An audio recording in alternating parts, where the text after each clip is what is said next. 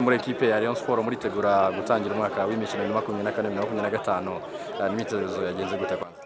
Eh, murakoze ni imyitozo yagenze neza kuko urumva niyo myitozo mbere nkoze mu- ikipe ya Rayon Sport. Eh, nishimiye kubona agarutse muri ekipe. Nkongera kubona abafana bangana gutya mu gihe mu myitozo urumva imyitozo yagenze neza nta kibazo. Ah, wisanze uri kumwe n'abakinnyi bashya muri ekipe ya Sport bandi eh, mutangiranye umwaka w'imikino Urebye nyuma y'imyitozo ya mbere abakinnyi bose muri rusange umwuka umeze gute? Eh, abakinnyi twatangira imyitozo turi bashyashya n'abasanzwe ekipe imeze neza iyo ibintu bitangira buriya bitaragenda neza cyane ariko mu myitozo nta kibazo nabonye umwuka ari mwiza ko twatangiye mu minsi imbere bizagenda bimba neza kurushaho. Sefu navuga yuko wenda uri mu ikipe ya Kiyovu Sport uri mu ikipe ya Rayon Sport bisa nkaho wenda muri no- muri ano mezi ya nyuma bitagenze neza haba no mu ikipe y'igihugu haba no mu ikipe ya Kiyovu Sport. Ah, uje mu ikipe wakoreyemo ibintu bigiye bitandukanye Sefu agiye kubaho undi utandukanye gute n'uwari usanzwe uri muri kino gihe cyangwa se uko performance yawe imeze muri kino gihe? Eh, urumva nakina mu ikipe ya Kiyovu Sport hajemo ibibazo byinshi. Eh, bituma ndangiza no mu ikipe y'igihugu nk'uko wari ubivuze match yararangiye ariko nakinnye. Ariko naje mu ikipe nziza ikipe izamfasha kujya mu ikipe y'igihugu eh, ikipe nje gufasha gutwara ibikombe nk'uko byari bisanzwe. Eh, ndizera ko nesheje abafana ba Rayon Sport n'abanyarwanda muri rusange ko ah, ngiye gushyiramo imbaraga zanjye zose kugira ngo mfashe ikipe ya Rayon Sport kugira ngo igere aho igera nanjye nifashe muri rusange kuzamura urwego rwanjye.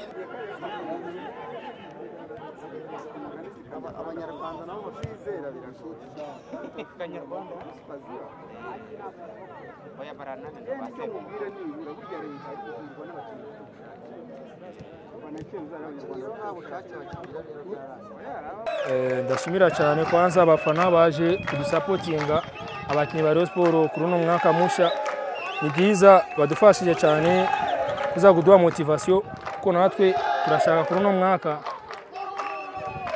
tu- tuwe na ekipe nzuri tuko na ekipe nzuri inabidi tufanye kitu kizuri kwa huu mwaka iyo wisanze muri ekipe nshyashya ah, nyuma yo gukora imyitozo ya mbere nyuma yo kubona bagenzi bawe mugiye gufatanya bavuga ko intumbero mwese mufatanyije utaha?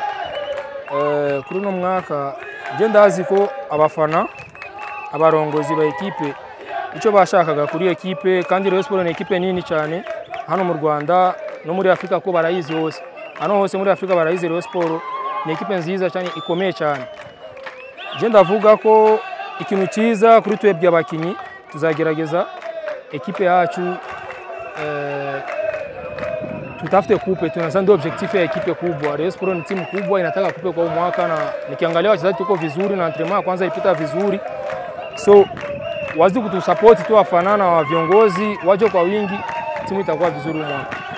Umwaka ushize wari muri ekipe y'amagaju wisanze muri ekipe ya Sport Ah, ku ruhande rwawe ni ibiki ubona direct bigiye guhita bihinduka Kuri jewe ni umunezero, umunezero ukomeye cyane kuko Rayon Sport ntabwo ari ekipe ntoya kwa ma- ku- kujya kwa magaju.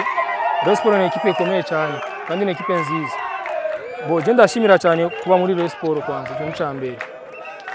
hanyuma couple i- iyi shampiyona urayibonye uyimazemo umwaka rekirito muranazikurikira abakinnyi b'abarundi bagenzi bawe bamwe bari muri polisi abandi bari ahandi na za peri wumva uko zirekirita Rayon Sport na yo uko irimo irekirita wumva ari ikipe iz- izahangana ku isoko ukurikije n'uko iyi shampiyona uyizi izahangana ku gikombe gu- ugendeye Eh? APR, polisi, Rayon Sport ni ekipe zikomeye cyane hano mu Rwanda. Izo ekipe zote eshatu ndavuga ko imwaci ya Rayon Sport na APR cyangwa polisi ni derby. Dutekerezwa kuronga victoire na bindi.